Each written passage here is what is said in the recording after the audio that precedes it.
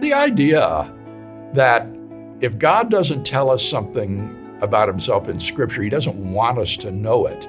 Sounds like people who said if God had wanted us to fly, he would have given us wings.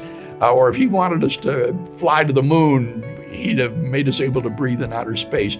I think that's just silly. What God has done is given us a rational, reflective mind that is the image of his own.